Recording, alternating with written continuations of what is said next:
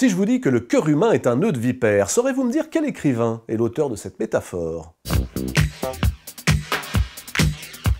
François Mauriac, prix Nobel de littérature en 1952, connaît un immense succès public 20 ans plus tôt avec Le Nœud de Vipère. Il s'agit de la confession d'un vieil avocat, véritable star du barreau de Bordeaux, qui dit adieu à sa femme et à ses enfants, mais en leur signifiant par écrit toute la haine et tout le mépris qu'il lui inspire. Il leur dit aussi d'où viennent ces sentiments assez peu nobles, dans une lettre donc qui a valeur de testament et de confession. Il en est convaincu, sa femme et ses enfants ne l'aiment pas, ne l'ont jamais aimé. Il ne s'intéresse qu'à sa fortune. Il veut donc se venger, et par cette lettre, eh bien, il entend déshériter les siens, cette famille qui espère sa mort afin de s'emparer de son argent. Sauf que sa femme meurt avant lui. Et alors là, tout change. Le vieil avocat renonce à sa vengeance.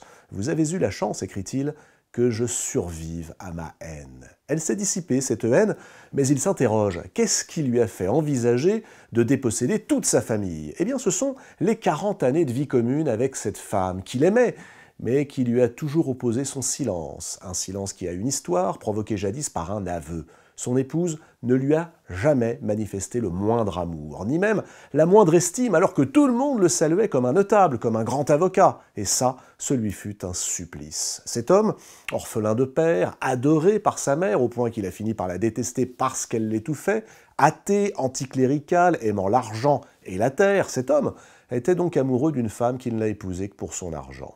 Peut-on purger le venin qui sature un cœur fatigué? Eh bien, telle est la question que pose François Mauriac dans ce roman devenu un classique.